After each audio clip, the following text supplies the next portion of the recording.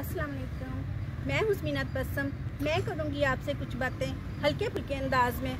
आज हम जो बात कर रहे हैं कि हमें बात किसकी माननी चाहिए, किसकी नहीं माननी चाहिए। तो ये मैं आपको अपनी ही लाइफ की एक मिसाल दे के बताती हूँ कि जब मैंने कॉलेज में एडमिशन लेना था तो मैंने सोचा कि मैं किस सब्जेक्ट को चूज़ करूँ। तो मैंने चूज़ किया कि भी मैं इकनॉमिक्स में चूज़ करती हूँ। तो मेरी दोस्त ने मुझे कहा, ये तो बहुत ही मुश्किल सब्जेक्ट है, ये नहीं ठीक रहेगा। तो फिर मैंने कहा कि ये मैं चेंज कर लेती हूँ। फिर मैंने जो है सोचा कि मैं ला में एडमिशन लूँगी।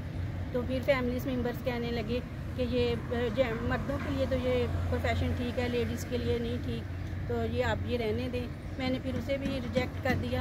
फिर मैंने सोचा क्यों ना मैं इस्लामियात में एडमिशन लेती हूँ। तो इस्लामियात में जब मैंने सोचा तो कुछ मैंने अपने मिलने जुलने वालों से बात की।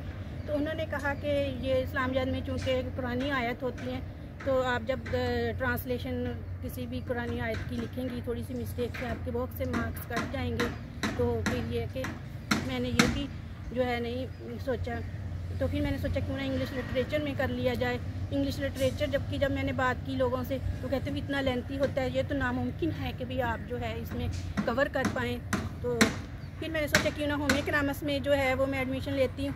तो फिर मेरे कुछ लोगों ने कहा तो हमें इकनॉमिक्स का तो कोई स्कोप नहीं आपने अपनी ज़िंदगी ख़राब करनी है। तो इस तरह मैं बहुत परेशान हुई, बहुत कंफ्यूज हुई कि मैं किसमें एडमिशन लूँ।